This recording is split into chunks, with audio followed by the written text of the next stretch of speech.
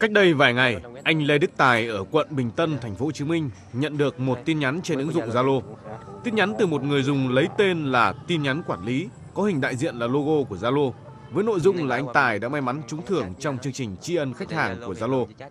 Phần thưởng là một chiếc xe gắn máy hiệu Liberty cùng số tiền 70 triệu đồng.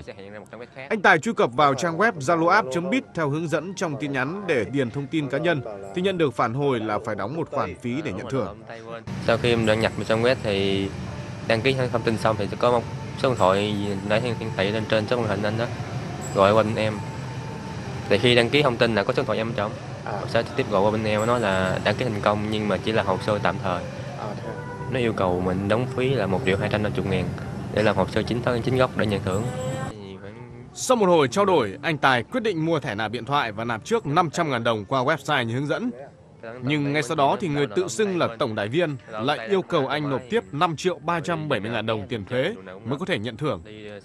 Lúc mà em yêu cầu hắn xuất trình tên, số chứng minh nhân dân, địa chỉ công ty, thẻ nhân viên thì nó nói là anh tên Tuấn thôi, còn không không cấp bất thông tin gì nữa hết.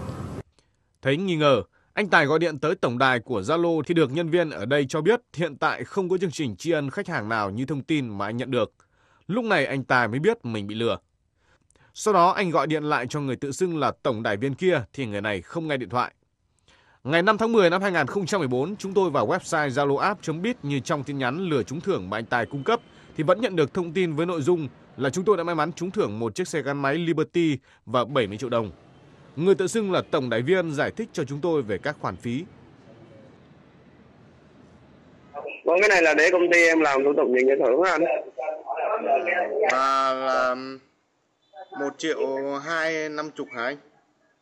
Cũng là một tỷ hai trăm năm mươi nghìn đồng đó anh. À, à, vui lòng là mua thẻ cào của Viettel Mobile hay Metaphone nếu mình mua đủ một triệu hai trăm năm mươi đồng tiền thẻ cào sau đó gọi qua cho em. Em sẽ hướng dẫn anh đóng phí trên website đó vì hôm nay là chủ nhật cái người ta ngân hàng nó không làm việc. À, không chuyển được ngân hàng hả anh? Hôm nay là chủ nhật ngân hàng nó không làm việc anh hiểu không? À, mà chỉ ờ, chỉ được thanh toán trong vòng bao nhiêu lâu hả anh? Dạ vâng mình thanh toán trong vòng là từ 30 đến 60 phút đó anh. Thì mình bằng đi mua thẻ cào về rồi gọi lại cho em anh nha Chúng tôi đã liên hệ với Zalo để trao đổi làm rõ hơn về vấn đề này. Tuy nhiên đại diện Zalo cho biết đối với những vấn đề này, Zalo không có phát ngôn. Theo tìm hiểu của chúng tôi thì website chính thức của Zalo là zaloapp.com chứ không phải zaloapp.biz và hiện tại Zalo cũng không có chương trình khuyến mãi tri ân khách hàng nào.